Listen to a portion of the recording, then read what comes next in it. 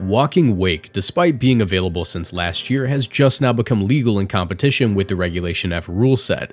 As a water dragon type, it's already got one of the best offensive and defensive types in the game. When paired with Protosynthesis and Hydro Steam, a move boosted both in Rain and Sun, it's certainly a threat. But is it right for your team, and how should you use it? Today, let's discuss just that. If you enjoy this video at any point in time, be sure to leave a like and subscribe because I make tons of competitive Pokemon content. But first, this channel is partnered with GamerSupps. If you want to support my work and get great tasting drinks, you can order GamerSupps through my link in the description down below or with code MoxieBoosted at checkout for 10% off. GamerSupps is a caffeinated product that I recommend only to my 18 plus viewers, but my link will send you to their caffeine-free product section just in case. Every product purchased through my link supports my channel financially, so I'd really appreciate the support. Now back to the video. Okay, Walking Wake. Let's get into this one. This is a Pokemon I've been excited to talk about for a while. I mean, I already did like a guide a while back, but that was before it was ever legal. So we're going to ignore that that video got made. Uh, and we're going to talk about it in the current format. So as a water dragon type, this mon is already just like ridiculous. Uh, the only other water dragon types I can think of are Palkia and Kingdra. And while Palkia is not that good in competition, uh, or at least it, you know, wasn't for a long time. Now it's actually pretty decent, or at least it was with Dynamax. Um, it's it's easy to say that there aren't a lot of like, you know, really good mons with that typing, but in all honesty, it just has to do with um like the conditions of the metagame. And I think that the conditions of the metagame are just right for Walking Wake. Uh, Sun is in a pretty okay spot right now, and Rain is also in a pretty okay spot. Really, just being able to be ran on either one of those weathers is just like amazing for it. Its stats are also pretty phenomenal. It's got 99 HP, 83 attack, 91 defense, 125 special attack, 83 special defense, and 109 speed. So it's got like, not Incineroar bulk, but just under Incineroar bulk without Intimidate, obviously. Um, but it's also got like a really nice speed stat at 109, putting it just under the Genies, uh, but above things like Landorus Incarnate and Urshifu, which is a pretty important uh, speed to be above if you're like a fast special attacker. Uh, and yeah, it's also just got access to this absurd new move called Hydro Steam. It's 80 base power, 100% accuracy, and with water moves, having like that consistency is actually kind of rare, especially since Scald was taken away from a lot of Pokemon this gen. uh, sorry, I'm a little a little congested again today. I have to drink some water. Uh, but yeah, speaking of water, it, it's it feels like most Pokemon have to run Hydro Pump because they don't get uh, Scald anymore. This Mon, despite getting Scald, isn't going to run it just because Hydro Steam is better. 80 base power, uh, during sunny day, it does 50% more instead of, you know, having the damage halved. And also in rain, it does 50% more. Uh, so that is, you know, obviously because it's like built in as a water move. But yeah, uh, this mon is ridiculous. It can be run on a lot of archetypes. There's a lot of really great partners for it. Uh, let's talk about it today with uh, the first move set, which is going to be a very standard choice spec set. So this set is uh, Choice specs, Timid, we're running Draco Meteor, Hydro Steam Flamethrower, and Flip Turn. So this this mon gets Flip Turn. That's actually pretty funny. Uh, and we're running Timid Max Speed because that actually um, will get you a speed boost. Uh, however, in order to outspeed your, you know, or in order to have higher speed than your uh, special attack, uh, you're going to have to go 244 on that uh, rather than 252, which is a little bit annoying, but, you know, it is what it is. Beyond that, we have, you know, 4 HP, 4 defense, 4 special defense, and that's just like a small optimization. You just want odd HP because it's pretty good into stuff like, you know, Super Fang or whatever. Um, yeah, I don't know. I, I, I'm just it, it's it's like a it, it, might not even matter. Like i'll be honest that doesn't matter 99% of the time but i like doing that because it just feels like i'm playing optimally. Like i'm a lot better at the game than i actually am. You ever have that feeling where you go yeah i know this small interaction. My hp is even and my and or my hp is odd and my stats are even you know? That sort of thing. Anyways that's just me going off on a tangent. Uh, we're running Tera Water with Draco Meteor, Hydro Steam, Flamethrower, and Flip Turn. Uh, those moves are just going to hit like trucks with the choice specs. We are Protosynthesis speed rather than special attack just because we want to make sure uh, we're outspeeding things like Flutter Mane. And of course, with Sun active with the choice specs, you're going to be doing a ton of damage to basically anything. Let me uh, let me familiarize myself with this Urshifu calc really quick. I want to make sure I don't spread some misinfo on the internet more than I already do. Okay, yeah, I am correct. So, uh, Draco Meteor is obviously always going to one-shot an Urshifu Rapid Strike, but this is the fun part. Hydro Steam with the speed boost and the choice specs will actually be a roll, a very small roll uh, in your out of out of your favor uh, to one shot Urshifu. It's 6.3% chance to OHKO. So if they take any kind of chip damage, let's say they like you know switch in on a resisted hit, now they're at like 90%. uh, then yeah, you have a pretty solid chance of one-shotting uh, the Urshifu at 85 to 100% being the roll. So that's really nice. Um, into like other Pokemon, like unresisted Pokemon, like a Flutter Mane, you are going to be doing a pretty solid chunk of damage if they don't have a lot of bulk. Uh, versus like just 4 HP Flutter Mane, uh, you can expect this Hydro Steam to be doing with Tera Water, it, it, like just you, you just one-shot it. Uh, it's it's a stupid move. You you one shot with the with the Hydro Steam and Tera Water. If you're not Tera Watered, it is a roll to one shot 4 HP Flutter Mane as well uh, at 87 to 103, so that is very nice. And yeah, this mon is just a nuke. It really is just a nuke. And while you could go with a defensive Tera like Steel or Poison uh, on this set, I really think that if you're going choice specs, you get a ton of value out of just going full offensive with Tera Water because you are weak to Flutter Mane as a dragon type, but by going Tera Water, you not only get the offensive benefits of, you know, boosting your water moves, but also you lose the dragon type, meaning you're taking neutral from fairy, uh, and you're resisting ice and what else? Uh, you're not weak to dragon, which is pretty nice in the uh, Walking Wake mirror. Uh, they might want to go for a Draco into you. You just live that. You go for a Draco into them. They drop. So yeah, this first move set's very standard. You, you know, you can run it next to like a Tornadus with um, Sunny Day if you really want to. Uh, you could run it next to a Torkoal. I've seen some Torkoal like uh, Walking Wake Venusaur teams running around, and those are really scary. Like honestly, Walking Wake on Sun is kind of ridiculous. Uh, so yeah, like there's a few options there. I would highly recommend you try it out. And yeah, the next move set we have here is a booster energy set. And this set's very straightforward as well. This one's going to be max speed, max special attack, 4 HP with a modest nature, Hydro Steam, Flamethrower, Draco Meteor, and Protect. This is going to be something you're going to want to run on a Tailwind team with like a Tornadus, obviously. Having that um, initial boost in your special attack stat. You can also run Life Orb, by the way, over Booster Energy if you really want to. Um, but yeah, having that initial boost in your special attack stat uh, will allow you to hit like a truck without having the commitment of a choice specs. Uh, and also you don't have to take any recoil due to the Life Orb if you're running the booster over the Life Orb, but of course you can swap these out. Uh, and yeah, Tera Steel is the option we're going for here because while it is a very offensive set, it's already hitting like a truck in the sun with Hydro Steam. Um, or sorry, with Booster Energy and Hydro Steam, and Hydro Steam obviously gets the boost in the sun. Um, Flamethrower hits pretty hard for coverage for like grass types, and Draco Meteor is to be really nice uh, for just like hitting everything, you know, one-shotting the um, Urshifus on switch in, doing like a solid chunk of damage to like uh, opposing Landorus. Actually, it might just one-shot Landorus on a switch in. Let me check that. Landorus I, of course. Landorus T is a little bit dead in the water at the moment. Uh, Landorus I versus Modest Booster Energy is going to take... Uh, it does not take. It dies. It drops to the Draco Meteor. So, yeah, no, it, it, it just drops on switching. Hydro Steam obviously would one-shot it, but yeah, uh, this is pretty nice. Uh, I would recommend you just put this on like a hyper offense team. Uh, it doesn't necessarily need to be on Sun because of the fact it's booster energy. Uh, you don't really like worry about getting the protosynthesis, so it can be on Rain with Tornadus and like Rain Dance, or it can be on Rain with like Tornadus and Sunny Day. Or if you really want the Torkoal, like that's still fine. Like you know, I'm not gonna judge you for running the turtle. In fact, I in uh, I um I uh encourage the turtle. I think he's actually a pretty solid Pokemon this format. But yeah, uh, the final move set is my. I always do like two regular move sets and then like one like kind of silly goofy move set. And this is my silly goofy, goofy move set.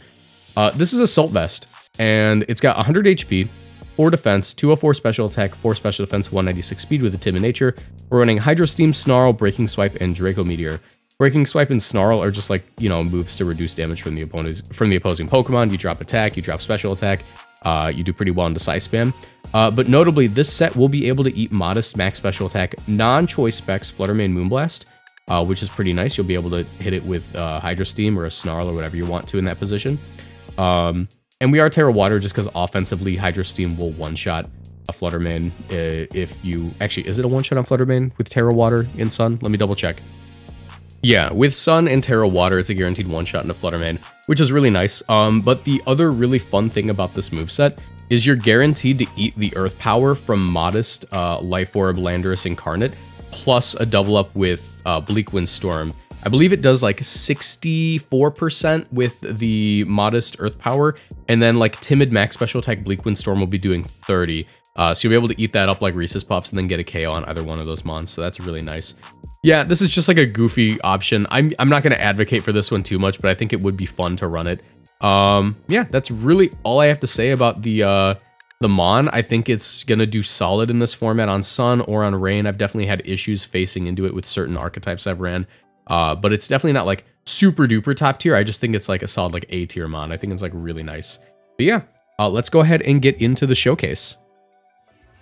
Okay, so here we are. We're going to showcase Walking Wake. Now, funny enough, I actually don't have a team built for Walking Wake yet. I like really like scrambled to get this video done in time.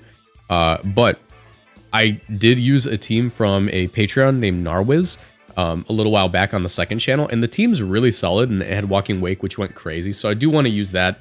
We're on my alt account where I use like a lot of rental teams and stuff. So obviously, you know, I'm not in Master Ball rank yet, but this should still be a decent place to showcase Walking Wake, show you what like a Choice Specs moveset can do. It's a really scary mon.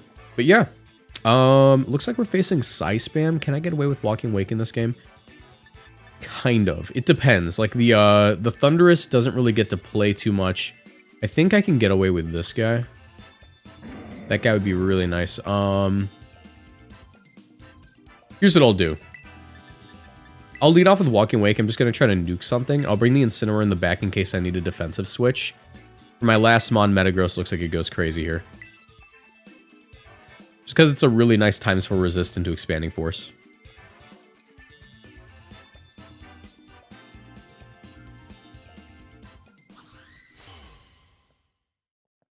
Also, next video, Iron Leaves. the Mon no one cares about.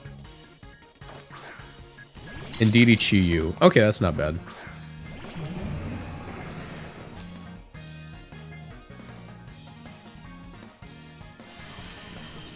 I'm speed boosting Walking Wake. So here... I actually feel pretty comfortable going for a sunny day and just trying to one-shot this Indeedee. Oh wait, I'm Tera Steel. Hmm. I guess I can go for the one-shot into the Chi-Yu. And, like, not Tera. As they just follow me. That's fine. I'll probably just have to take a Snarl or something. Sunny day up. I doubt they're going for Heat Wave. a nice little speed boost here. And this Choice Specs is going to hit. That's just a one-shot in an Indeedee. That's ridiculous. Well, I guess, you know, the Chi-Yu's on the field too. Snarl, that's fine. I'll take it. I'm still to hit like a truck.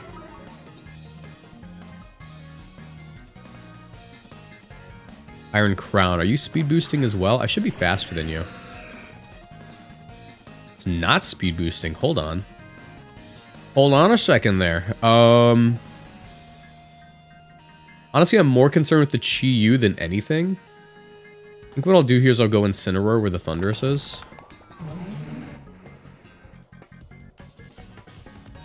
And I'll Hydro Steam here into the Chi-Yu because if we get rid of the Chi-Yu, they just don't really have an answer for Metagross.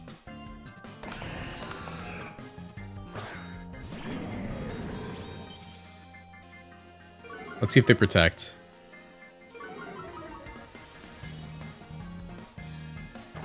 They're gonna Tera.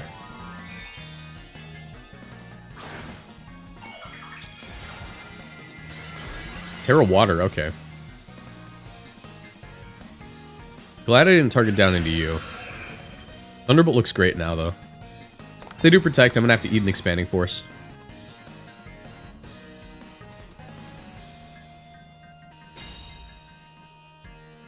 Likely losing the walking wake here, you know.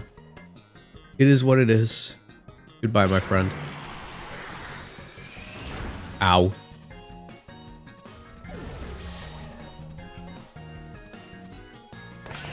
And their life orb, that's good to know. Let's go ahead and send in the Metagross. I can actually Tera Dragon here pretty effectively.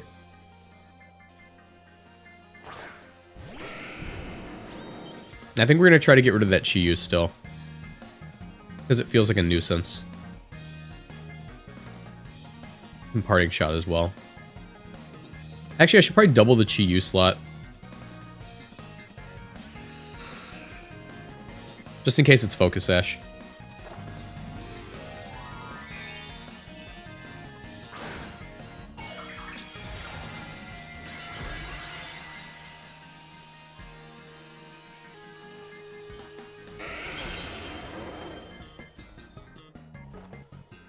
To protect the Iron Crown. Heat Wave.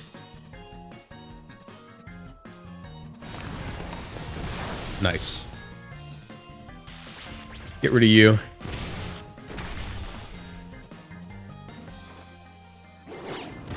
Alright. Pretty decent spot, I think. Uh, Incineroar is a little bit weakened.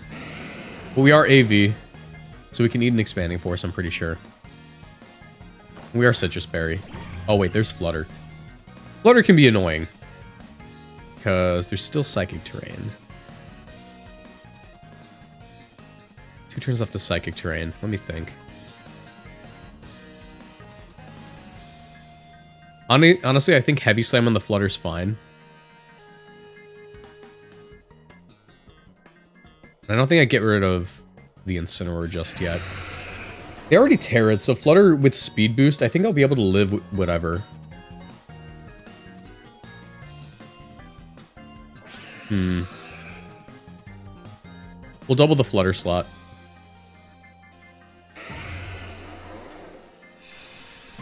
Say Moonblast. Oh, I'm not going to take the Expanding Force now, arm, am I? A Tera Blast. In the sun? I eat that. Yeah, Incineroar is cracked. This month's stupid.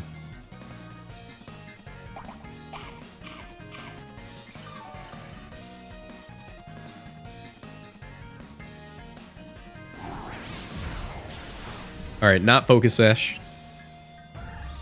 Knockoff goes into this guy, and I think that's game.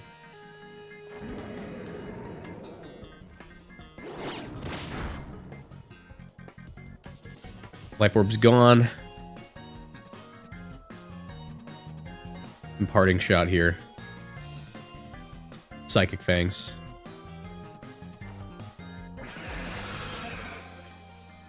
Say Tera Water, Tera Blast, that's fine.